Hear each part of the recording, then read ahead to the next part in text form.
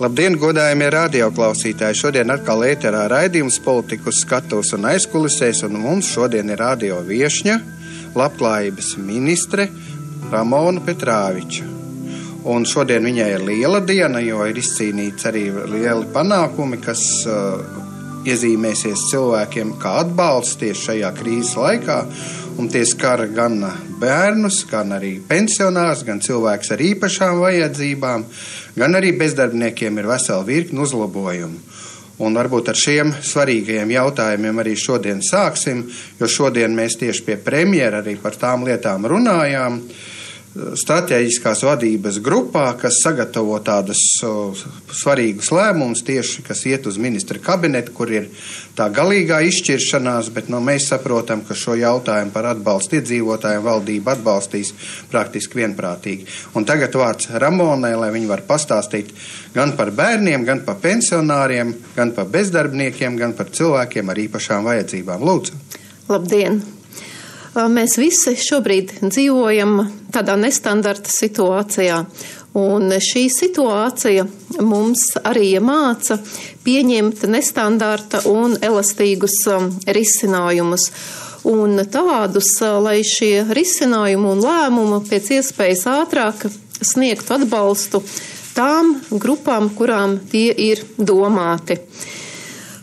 Uh, man kā labklājības ministrē patiešām ir uh, liels gandarījums un prieks, ka pēdējā mēneša laikā mēs esam koalīcijā vienprātīgi pieņēmuši uh, divus lēmumus, um, kas skar tieši cilvēkus un ģimenes um, ar bērniem.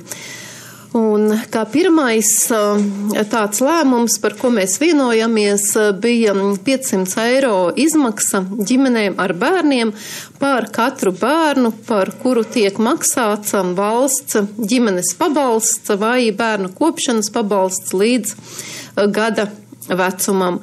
Un valsts sociālās apdrošināšanas aģentūra sāks izmaksāt pabalstu jau no marta vidus.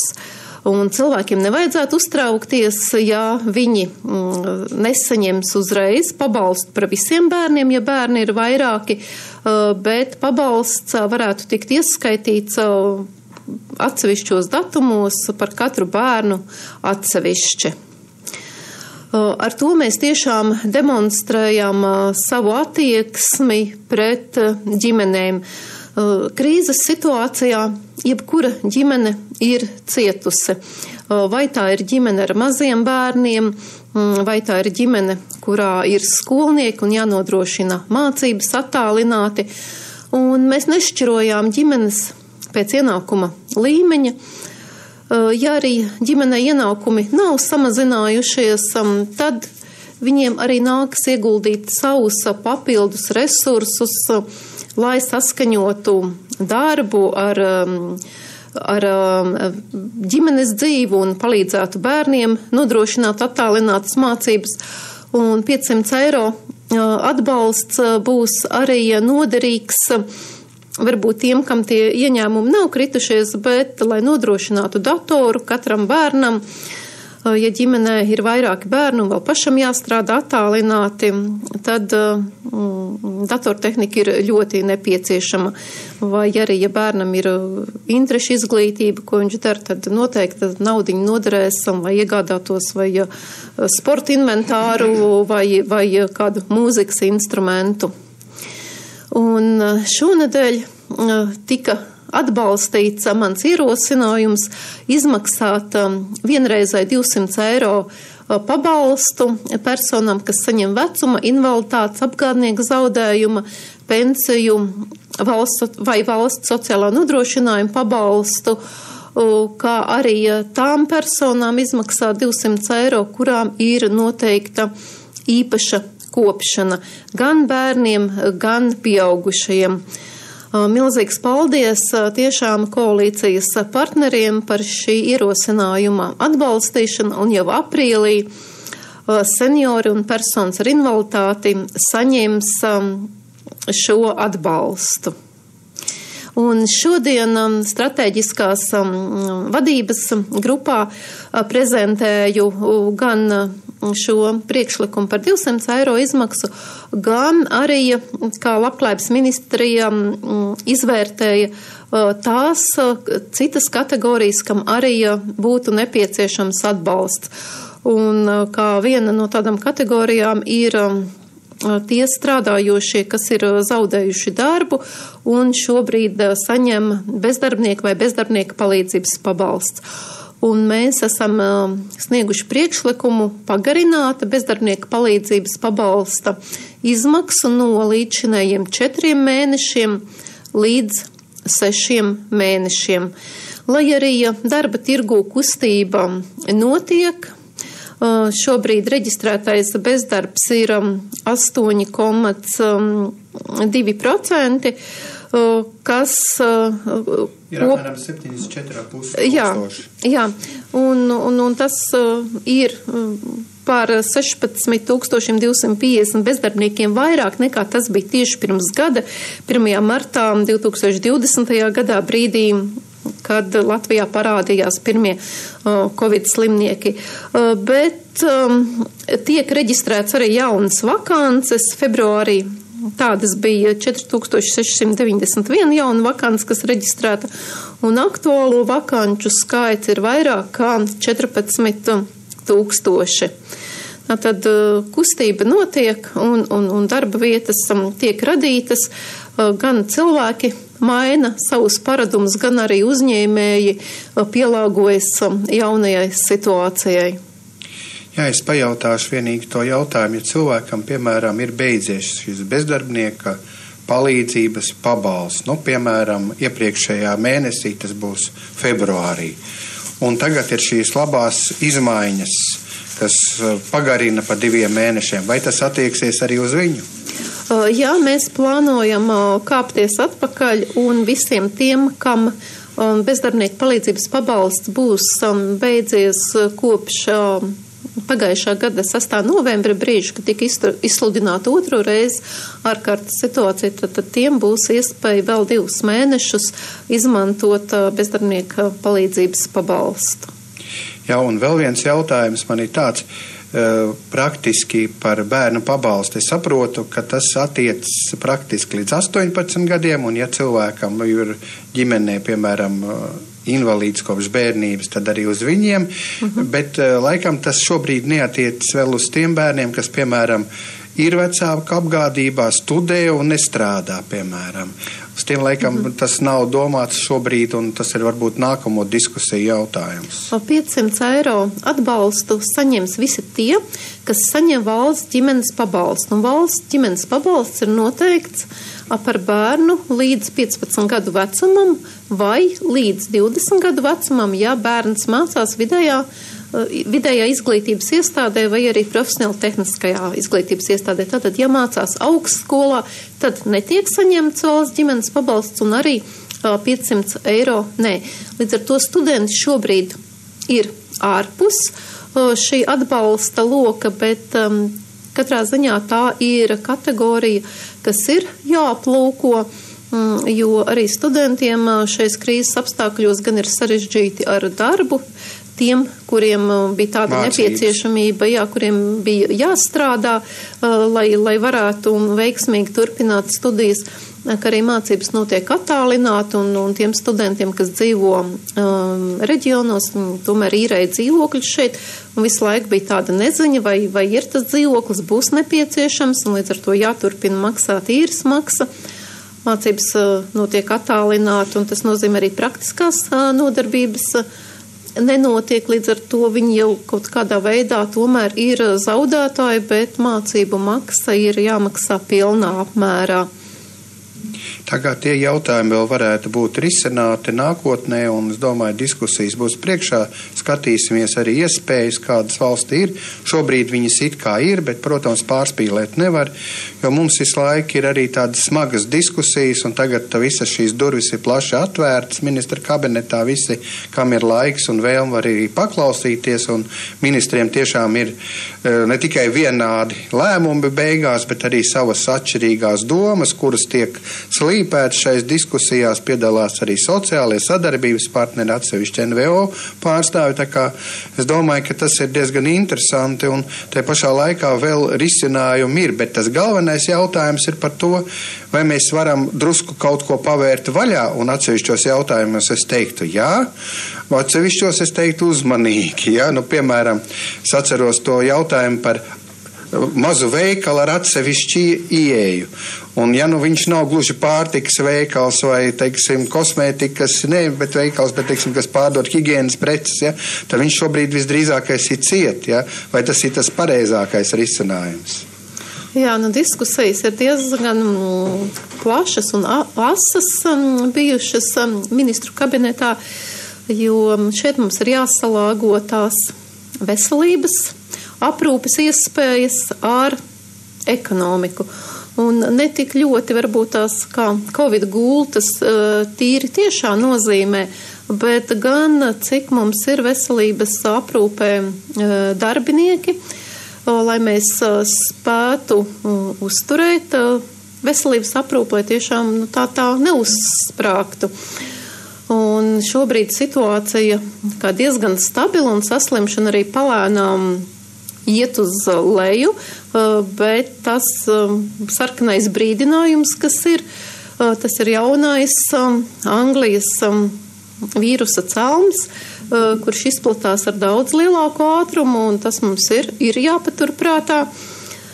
Bet pēc manām domām, nu, mums ar to covid būs jāsadzīvo, un būs jāsadzīvo vēl noteikti ilgu laiku.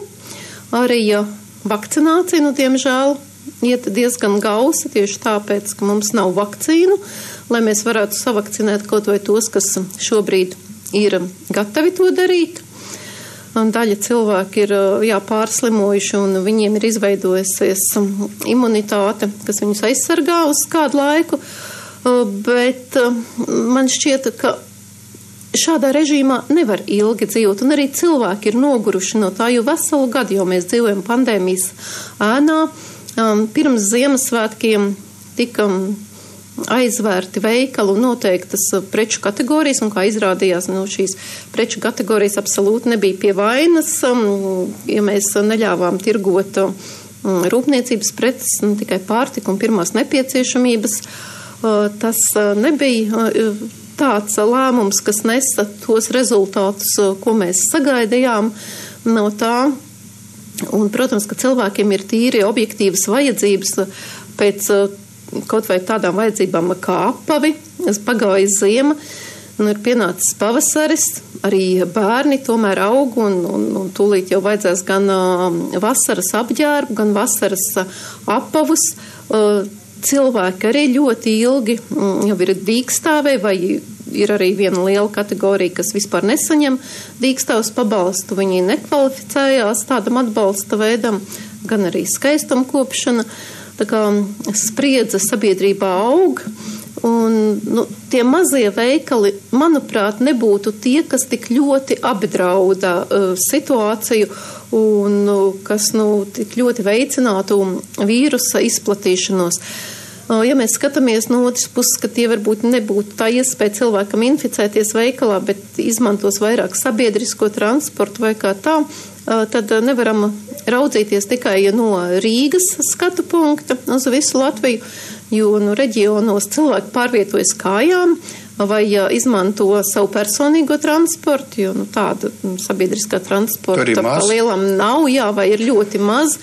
Mm, tā kā Šobrīd strādā arī ēdināšanas uzņēmumi, un, un cilvēks var aiziet paņemt ēdienu līdzi.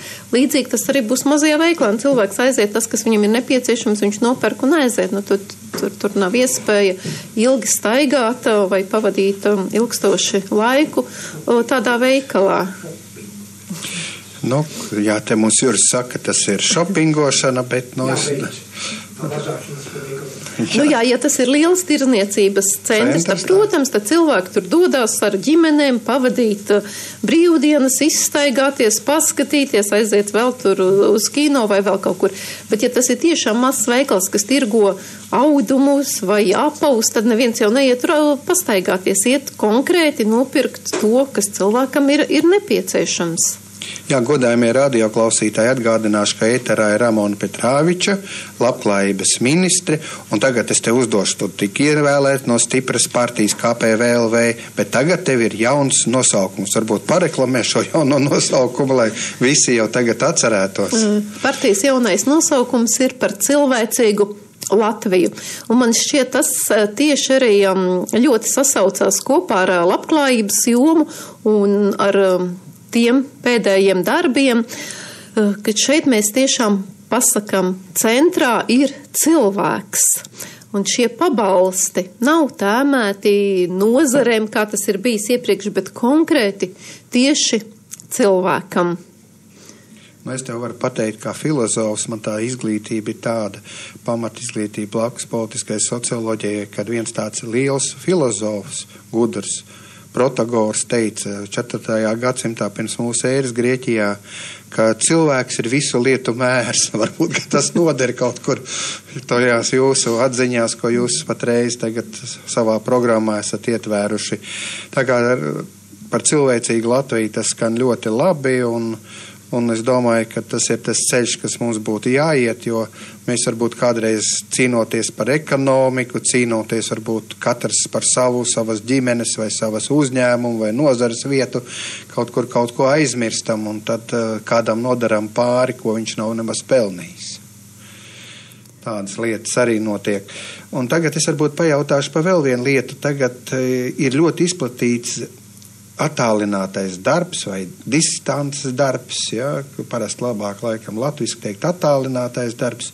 Un šodien arī ar Labklājības ministrijas pārstāvjiem mums bija arī tāda diskusija. Es pats nepiedalījos, man kolēģi piedalījās, kur mēs eh, tajā brīdī spriedām par to, kā, nu, zināmā mērā, kamēr šī pandēmija ir, tie, kuri var, varētu viņu attiecīgi veikt nu, plašākā nozīmē. Un otrs, ka varbūt, ja ir vēl aizvien šī Covid krīze, varbūt, ka vajag palielināt to, ko toreiz mums mazliet piebremzēja finanses ministrija šo 30 uh, eiro atbalstu, ja ir kaut kas izdevumi attālinātā darba nodrošināšanai mēnesī darba devējiem. Mhm. Kāds ir tavs viedoklis par šiem jautājumiem, kā tur varētu risināt? Es domāju, ka jau šobrīd tie, kas uh, var, tie arī tomēr uh, maksimāli strādā attālināti. Uh, lai gan, nu, protams, ir daudz nozara, kuras tas vispār nav iespējams izdarīt. Nevar pārdevēji strādāt attālināti, nevar aprūpētājs strādāt attālināti. Tur ir visciešākie kontakti un um, citu iespēju vispār nepastāv. Par to, cik tas ir produktīvs darbs. Uh, Noteikti ir arī jāiegūst zināmas iemaņas, lai to varētu to darbu veikt tiešām pilnvērtīgi. Bet nu, mums ir jāpielāgojas tai situācijai, kādā šobrīd esam, un, protams, tad ir labāk strādāt attālināti nekā slēgt, ciet vispār uzņēmumus, atstājot tikai nu, operatīvos dienestus un neaizējot pilnīgā lockdownā. Um, par atbalstu. Jā, nu tas noteikti ir uh, diskutējums jautājums. Uh, lai gan no otras puses skatoties tie cilvēki, kas ierodas uz darbu un kuriem ir jāstrādā klātienē, uh, tiem tāpatās ir tie ir izdevumi gan transportam, gan stāvvietām, gan, gan apģērbam, kaut vai ķīmisko tīrītavu izmantojot. Mm, gan uh, ēdināšanas pakalpojums, nu, kaut vai šobrīd tas nav iespējams aiziet un paēst uz vietas, bet tāpat tās ir jāaiziet un jā, jānopērk um, ēdienas uh, līdzņemšanai. Mājās tas viss iznāk, protams, krietni lētāk, nav nepieciešams arī transporta izdevumiem, vai nu, tas ir sabiedriskais vai personīgais transports, tiek izman, kas tiek izmantots, lai nokļūtu darba vietā. Bet tas noteikti ir diskutējums jautājums ar, ar sociālajiem partneriem. Es no savas puses pateikšu, ka tiešām tā patiesība ir ļoti individuāla. Nu, piemēram, ja cilvēkam ir lapa, labklājība, viņš, piemēram, vairākās istabās var viens pats pat būt, ja vēlas, ja, un uh, tad viņam varbūt pat tas ir liels ieguvums, šāda brīvība, nebraukt, te pati man virtuve, te pati mans leduskapis, ja, es ietaupu, bet kā tas cilvēks, kas varbūt divās istabās, kopā ar sievu, kur varbūt ir vai nu no bezdarbnieks, bet arī individuālais šāds uh, attālinātais darbs, plus vēl bērniņi, ja, un tad viņiem ir tā, kā ir, ja, tad viņiem it kā prasās kaut kādu atbalstu, lai nodrošinātu. Tā kā te nevar viennozīmīgi pateikt, te tiešām ir uh, lauks, lai cilvēki to visu skatītos, un arī to mērauklu nevarēs iedot visiem vienādi pareizi. Un tas arī līdzīgi kā tas ir slimības palīdzības pabalsts. Slimības palīdzības pabalsts arī sākotnēji bija uh, domāts, ja vecāks nevar strādāt attālināti un viņam ir bērns līdz desmit gadu vecumam, tajā brīdī, kad ir slēgti bērnu dārzi vai pirmās četras klasītes, tad var izmantot slimības palīdzības pabalstu un palikt mājās ar bērnu, lai palīdzētu mācībās. Tad šobrīd jau pabalstu var izmantot plašāk un, un arī, ja cilvēks var strādāt attālināt, bet viņš nevar to darbu darīt, jo viņam ir bērni, varbūt vairāk, kam vienlaicīgi ir jāpalīdz visiem mācībās. It sevišķi, protams, ja tas ir mazs bērns, nu, viņš pats nevar viens sēdēt pie datora un mācīties pirmā, otrā vai kaut vai ceturtā klase. Mm, bet um, jāsaka, ka mm, vecāki tomēr uh, nu, tā ļoti piesardzīgi un maz izmanto uh, šo atbalsta mehānismu, un, un no otras puses var arī saprast darba devējs, kuram arī ir um, jāorganizē darbs tā, lai neapstātos um, darbība vai ražošana, ja tā ir, bet vienlaicīgi arī nākt pretī savam darbiniekam. Jā, vēl viena tāda sfēra, kuru mēs laikam vēl neesam saņēmuši Eiropas komisijas atbildi, tīpaši labklājības jomā, bet ir saņemta pa veselības aprūpi, cik es zinu, tā atbilde pirmā no Eiropas komisijas par atjaunošanas un noturības mehānismu plānu. Varbūt var mazliet pastāstīt, jo šis plāns skar arī labklājības ministriju un ļoti svarīgs jautājums ir kaut vai šī pati nevienlīdzības mazināšana, ko mēs jau te pieminējām, ir arī, teiksim, vesela virkni prasmes cilvēkiem jāveido, un uh, Labklājības ministrijā nodarbinātības valsts aģentūra ir viena no tām, kas to veids. Jā, mēs arī um, bijām uh, prasījuši finansējumu uh, noturības un atjaunošanas uh, fondā tieši uh, bezdarbnieku apmācībai, vides pieejamībai, kā arī sociālos aprūpes centru remontdarbiem, gan izolācijas telpu izveidei. Un, ja skatāmies uz, uz bezdarbniekiem, tad tas profils ir mainījies, un šobrīd bezdarbniekos nonāk daudz vairāk cilvēki tieši ar augstāko izglītību, un līdz ar to mums arī ir jāpielāgojas, lai varētu viņiem piedāvāt um, jaunas apmācības kursus, un tāda arī ir, izmantojam dažādas um, um, pazīstamu starptautisku augstskolu platformas, kurās uh, var apgūt um, dažādas jaunas iemaņas un, un, un, un profesijas. Jā, ir vēl viens jautājums, jo mēs vairākas reizes, tagad divas reizes jau esam vis, sociālās aprūpas darbiniekiem pacēluši darba samaksu, kas bija ļoti, ļoti zema. Bet aizvien viņiem ir tāda pamatīga slodze. Un varbūt, varbūt pastāstīsim par to. Es esmu vairākas reizes arī premjeram teicis, ka tas kopā, piemēram, ar bērndārs pedagogiem, sociālās aprūpas darbinieki būtu pirmie, kuriem mēs skatītu iespēju kaut kā līdzēt šajā jomā. Kā ir diskusija vai varbūt kādi ierosinājumi šobrīd jau esam pat mazliet dzirdējis, ka tādi nodomi ir arī valdībā, nav tikai no sociālajiem partneriem tādas atziņas. Sociālās aprūpes centros strādājošiem atalgojums tika pacelts 2019. gadā, šķiet bija, jā. Un, un, un šobrīd valsts sociālās aprūpes centros tas sasniedz 100% no skalas. Plus vēl ir 10% piemaksa par darbu īpašos apstākļos. Un uh, Covid laikā esam uh, raduši iespēju nodrošināt 50% piemaksas tiem darbiniekiem, kas aprūpē ar Covid-19 sasirgušos um, uh, klientus. Um, viņu darbs īstenībā vispār nav novērtējams um, naudā. Tas ir tiešām milzīgi smags, gan fiziski, gan emocionāli smags darbs, ko veids aprūpētais. Un mēs arī um, savā rīcības plānā esam iekļaujuši tādu punktu, kā uh, celt atalgojumu. Bet šeit ir jāskatās plašāk, ne tikai uz valsts sociālās aprūpas centriem, bet uh, arī uz uh, pašvaldību sociālās aprūpas centriem, jo tur dažos centros um, šobrīd arī tas atalgojums nesasniedz uh, to līmeni, kāds ir uh, valsts uh, sociālās aprūpas centros.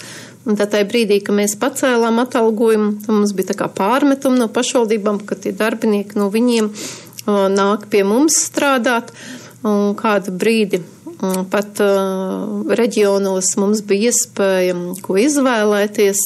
Nu, nebija tā, ka nevarētu aizpildīt um, vakances, bet, protams, Covid ieviesam savas korekcijas. Bet ar uh, šādu um, priekšlikumu mēs iesim uz valdību un mm, nākamā budžeta, veidojot nākamo budžetu, šāds priekšlikums būs iekļauts. Un tad es varbūt tādu delikātāku jautājumu uzdošu, mēs zinām, ka vismaz visi sociālai partneri teikuši arī sadarbības, ka tai vakcinācijai ir brīvprātīga. Un tad es varbūt pajautāšu tev, kā tas notiek ar šiem sociālās aprūpes namu iemītniekiem, nevis darbiniekiem. Tur es visu zinu, jā, tie jau man paši stāst, bet kā tas notiek ar viņiem, vai viņiem arī jautā, kā, vai viņš vēlas, vai viņš grib.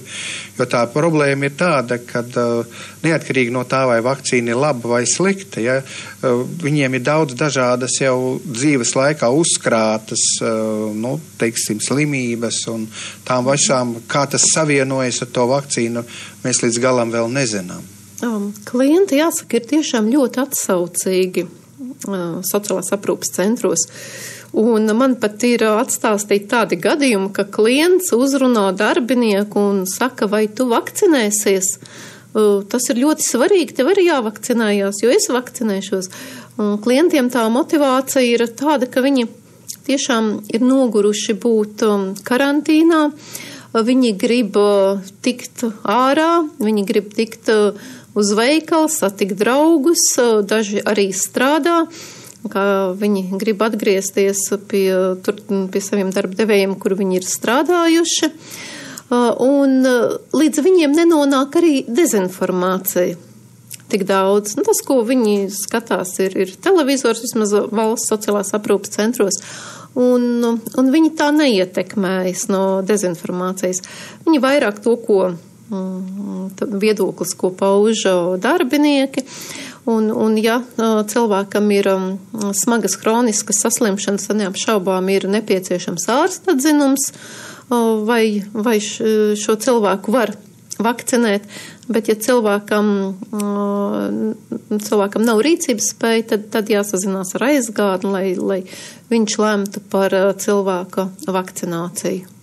Tātad es saprotu, arī tur ir šis brīvprātības princips. Jā. Es domāju, tas ir ārkārtīgi svarīgi. Uh, Jo nu, cilvēks par savu veselību pirmām kārtām ir pats atbildīgs, un, protams, ja ir operācija, tad ārsts, ja, kas viņam veids šo operāciju. Un uh, man prieks dzirdēt, ka tas notiek, un uh, tagad varbūt par to, ka tie, kas grib, uh, šobrīd diezgan daudz jau ir vakcinējušies uh, sociālās aprūpes centros, tā ir viena no prioritātes grupām, un es domāju, tas ir labi. Un kādi ir rezultāti šobrīd, varbūt tev ir tas apkopojums? Um, sociālās aprūpas centros ir vakcinēti vairāk kā 5000 klienti un vairāk kā 2000 darbinieku, bet vakcinācija notiks vairākos posmos, jo tie klienti, kas ir pārslimojuši Covid-19, tad tiks nogaidītas 90 dienas, un, un tad viņi tikai saņems uh, savu pirmo vakcīnu. Tā kā tas nenotiek vienlaicīgi. Līdz ar to būs vairāki piegājieni, kad vakcinētāji ieradīsies sociālās aprūpas centros, vai tas būs divas, trīs vai četras reizes, cik būs nepieciešams, un ja arī kāds klients vai darbinieks um, būs pārdomājis no tiem, kuri šobrīd varbūt tās šaubās vai vakcinēties, tad viņi saglabājās um, kā otrā prioritārā grupa un viņi nenonāk rindas galā, bet viņi tiks vakcinēti tik līdz uh, viņi tādu vēlmi izteiks.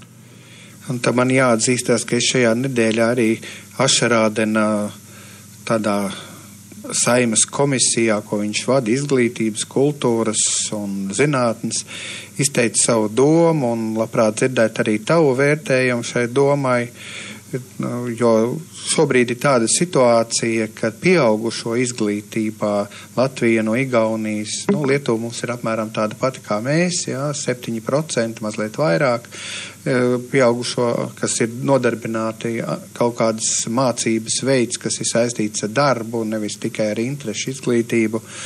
Jā, un pie mums ir 7, bet Igaunijā 21 un atkal attiecīgi Zviedrijā ir 34, mazliet pāri par 34%. Un tur ir tāda sistēma, kad uh, darba devējs vienu nedēļu vai divas nedēļas, kā nu kurā tur valstī, bet Zviedrijā divas nedēļas apmaksā, bet es teicu, bet tad vajadzētu darba devējiem veidot kopā, teiksim, no uzņēmumu līdzekļiem uzņēmumu līmenī vai nozars līmenī tādu fondu, un tad tur tāda naudiņa, kas tur būtu uzkrāta, bez nodokļiem, ja varētu tikt izmantot šim mērķim un automātiski mūsu uzņēmumi kļūtu konkurētspējīgāk. Kā tev šāda ideja, kur es saku, tur varētu būt gan, teiksim, valsts pārstāvi tādos fondos iekšā, kas, teiksim, pieskatīt, lai viss būtu korekti, gan arī, teiksim, arotbiedrība, gan darba devēji? Nu, es um, nodarbinātības valsts aģentūras apmācības vērtēju pēc um, rezultāta. Uh, pēc rezultāta, cik uh, apmācītie um, bezdarbnieki, piemēram, aiziet strādāt, bet ne tikai aiziet strādāt, bet aiziet strādāt tajā konkrētajā profesijā, uh, kuru viņš ir apguvis kursos, vai nu kas tas būtu. Un tad jāsaka, ka tiešām um, vislielākais procents, 93%, kas aiziet strādāt tieši to, ko viņš ir mācījies, tas ir apmācības pie darba devēja. Un tas ir tiešām parādījis, um, ka ka tās apmācības ir jēgpilnas un ar atdevi.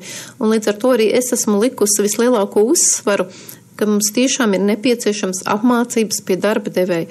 Jo darba devējs tad jau skaidri zina, ka viņam ir nepieciešams tāds darbinieks, viņš arī tam attiecīgajam darbam sagatavo to darbinieku. Nu, protams, ir daži gadījumi, kad kāpēc vai nu darbinieks vai, vai, vai kā, jā, vai, vai negrib, bet, nu, tas ir visveiksmīgākais no pārējiem. Tur analizējot, nu, tie procenti ir varbūt tās tur kaut kādi 40, 50, kas, kas aiziet strādāt, un ja vēl tos atsijājam, lai gan mums ir ļoti grūti pat um, izvērtēt, um, nodarbinātības valsts aģentūrai nav um, tāda piekļuve. Um, um, vidu datiem, lai mēs varētu redzēt, vai tiešām tajā profesijā ir aizgājis strādāt, kas noteikti būtu ļoti nepieciešams, nu tad uh, mēs manuāli sliku, lai aprēķinu, izvēlu dažus cilvēkus, tur 50 vai 100 tika salīdzināti, un tad iznāk no tiem um, puse vēl tikai aizieti tiešām tajā konkrētajā um, specialitātē, bet ir uh, arī tādas kā valoda apmācības vai vienkārši cilvēks paaugstina, jā, savu uh, kvalifikāciju. Tas nenozīmē, ka viņš maina darbu.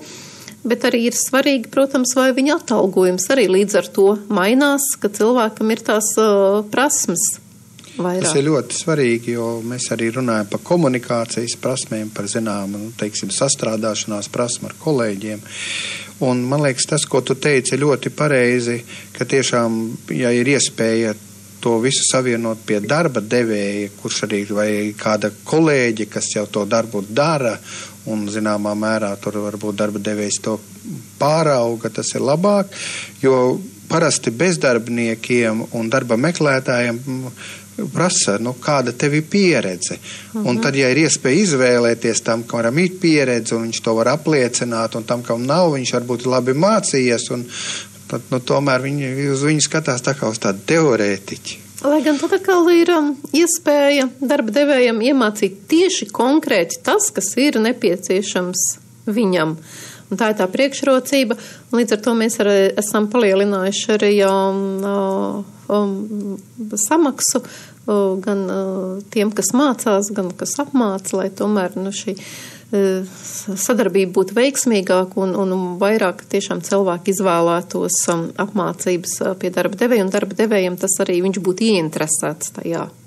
Un tur tā kā vajadzētu tādu sistēmu, kas varētu būt, tas neizslēdz arī valsts izglītības vai tehnikumu izglītības vai augstskolas pat nosūtīt, jo mums vienmēr ir bijis tā doma, ir labi, ka ir kursi, bet, piemēram, ja darba devējam vajag, lai kāds jau labi zināms darbinieks pastudē vēl kaut ko nopietni, varbūt ne mhm. piecus gadus, ja, bet pat tajā jomā, kur viņš strādā, tad uh, viņam ir jāmaksā tomēr darba spēkam pielīdzināta nodokļa, tas ir sociālās iemaksas un vēl iedzīvotāja ienākuma nodoklis un vēl tā mācību maksa mm -hmm. augstskolai, piemēram. Un tas īsti pareizi nav. Nu jā. Kā šeit, šeit ir um, visādi modeļi, ko varētu tiešām attīstīt. Uh, gan arī nu, subsidētās darba vietas, kas, kas šobrīd arī tiek piedāvāts. Jā, bet arī nevarētu teikt, ka liela atsaucība būtu. Nav. Nu, tā kā mēs tā lēnām virzamies jau uz tādu noslēgumu, tad es atkal domāju, varbūt ir vēl kādi plāni, uh, kurus varētu šodien paust, ko Labklājības ministrija domā rosināt. Varbūt, ka mēs varam mazliet paskatīties. Mums ir tāds labs iesākums arī pie invalīdu nodarbinātības veicināšanas, varbūt tajā jomā, jo tur mēs jau tādu, tādu zinām diskusiju loku izgājām un praktiski esam gatavi tiem uh, invalīdiem, kas šobrīd uh, nav nodarbināti, dot iespēju nākotnē, kad situācija labosies, viņiem ieiet, lai uz viņu neskatās kā uz mūžīgo darbinieku, un tai pašā laikā tiem invalīdiem, kas ir cilvēkiem ar īpašām vajadzībām, tomēr nodrošināt lielākas tiesības uh, sociālajā ziņā aizsardzība nekā tas ir pārējiem darbiniekiem. Labklājības ministri ik pa laikam izvērš kampaņas, un arī tagad tāda ir. Um, lai um, darba devēji ieraudzītu personas ar invaliditāti un nebaidītos um, ņemt viņus darbā.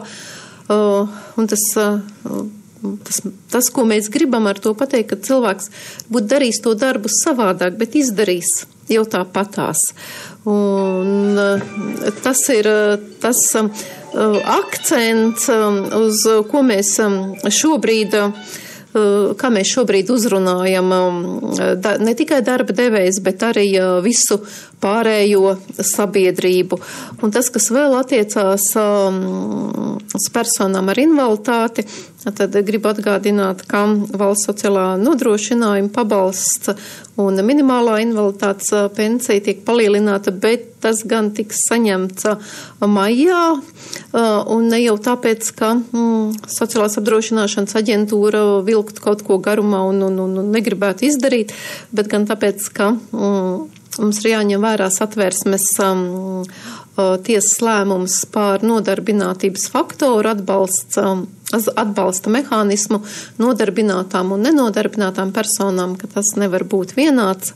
Tad, ja cilvēks nestrādā, tad um, pabalstam ir jābūt lielākam. Līdz ar to ir nepieciešams um, ieviest jaunas programmas, testēt programmas, un tas aizņem um, zināmu laiku, līdz tas visam tiek izdarīts. Jā, nu šeit man uzreiz nāk prātā tas, ka tomēr bezdarbniekam arī šobrīd ir tas, kas ir ieviests. Ja ir sezonas darbi, četrus mēnešus tu vari strādāt, un tas ir labs tāds atkāpes variants līdz četriem mēnešiem un saņemt papildus tajos mēnešos arī bezdarbnieku pabalstu. Tā Jā, kā... un ja cilvēks nonāk absolūti krīzes situācijā, nu, tad, tad ir um, pašvaldības atbalsts, um, krīzes uh, pabalsts cilvēkiem, kas uh, nonākuši tādā situācijā dēļ Covid ietekmes un netiek vērtēts uh, materiālā situācija, kas cilvēkam pieder, bet tiek sniegta palīdzība un valsts kompensē pašvaldībām 50%, bet ne vairāk kā 75 eiro par pieaugušu personu. Iepriekš tie bija 40 eiro. 50 no valsts, 50 no, no Jā, tā tad, jā, pa pieaugušu personu pašvaldība izmaksā 150 eiro pabalstu, un tas tiek maksāts par katru ģimenes locekli, tad valsts kompensē 75 eiro. Un savukārt par bērnu tas ir vēl plus 50 eiro. Tad, ja ģimenē ir divi pieaugušie, tad par katru pieaugušo ir 150, tad tas ir 300 eiro, un par bērnu ir 200 eiro. Jā, tas ir viss ļoti labi. Un tā kā mēs virzamies lēnām uz noslēgumu, un tev jau ir nākamā, teiksim, darba sēde, atgādina radio klausītājiem, ka mūsu ēterā ir Ramona Petrāviča labklājības ministre. Un uh, es no savas puses, mums tie telefoni zvana atvainojiet radio klausītāji, ka mēs tik neuzmanīgi esam. Un uh, mums būs arī nedēļas nogale Un ne tikai ceturtdienā varēs Ramona tevi dzirdēt, bet arī piekdien, un tā ir nedēļas nogali. Varbūt kaut ko novēlēs mūsu radio klausītājiem, jo, lai nu kā, divas mājasaimniecības tikties nevar, bet vienas mājasaimniecības vidū un arī tiem pārējiem saviem draugiem mēs kaut ko varam nodot, ja ne tieši klātbūtnē, bet tāpat. Jā, nu, pēdējās dienas mums bija tādas saulainas, un, un tiešām likās, ka klāt jau ir pavasaris, bet es noteikti gribu izmantot šo brīdi. Un tā kā pirmdien ir 8. marts, un tā ir starptautiska sieviešu diena, līdz ar to es uh, gribu apsveikt visas sievietes un novēlēt viņām būt mīlētām un laimīgām. Nu, ko vēl jaukāk varēja pateikt? Man grūti kaut ko pielikt klāt.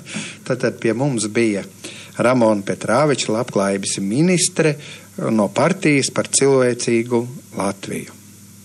Paldies un tiksimies nākamreiz! Paldies!